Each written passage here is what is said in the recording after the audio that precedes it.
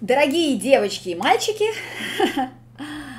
очень рада вас всех видеть. Если вы смотрите это видео, знайте, что я также рада вас видеть, как и вы меня. Сегодняшний ролик я назвала, как же я его назвала, еще не придумала название, но уже придумала, но сейчас еще не придумала. Мне часто задают вопрос, мама Огра, как ты пришла в доту? Вот я написала стихотворение – чтобы больше на этот вопрос не отвечать, потому что мне...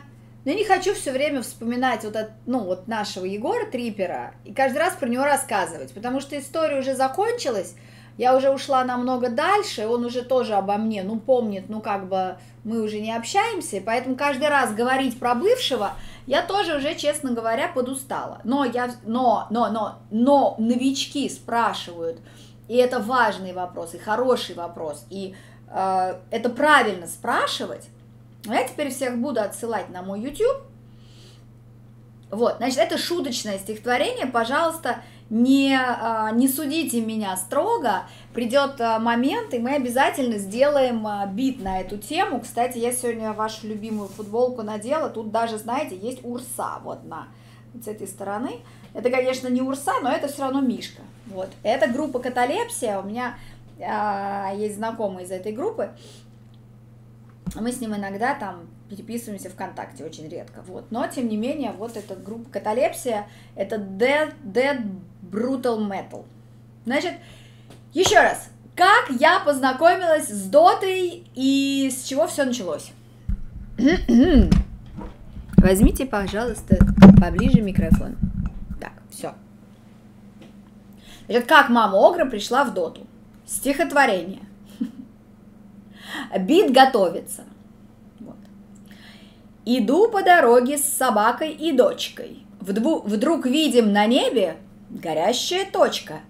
Китайский фонарик по небу летит, глаза опустила, мужчина стоит. Фонарики с дочкой своей запускал, мы к ним подошли, добрый день, он сказал.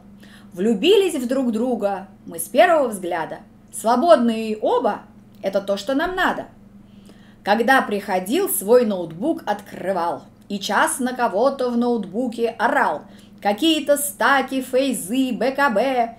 Купи себе глимер, а лучше ШБ. Полгода наш трипер, закончив работу, домой приходил и играл снова в доту, пока тот торжественный день не настал. «Скачаем сейчас тебе доту», — сказал. Признаемся честно, что Трипер герой. 608 каток сыграл он со мной. Учил терпеливо, почти не кричал. «Играешь неплохо», — он скоро сказал. ЦМК и фура, потом аппарат. Играла 14 игр подряд.